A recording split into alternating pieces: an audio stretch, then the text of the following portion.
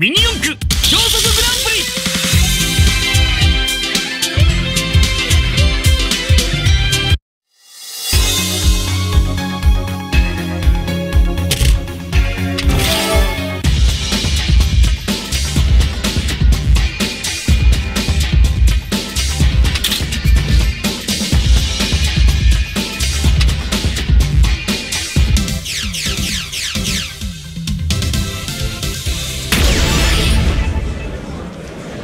今回出場するマシンはこちらです。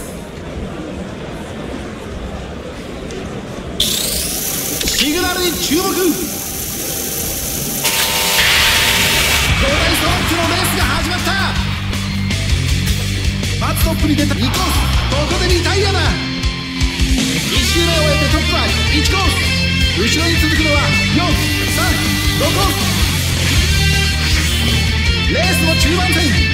後ろのマシンはこのリードを縮めていけるのか？レースも残すはあと2周。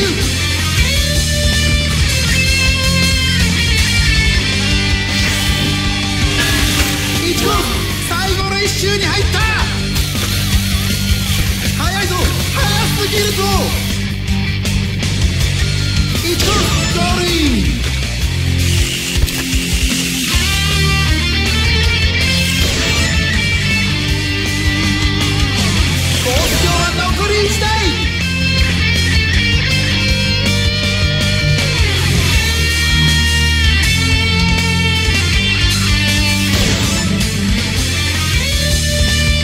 このマシンも素晴らしい走りだったぞ。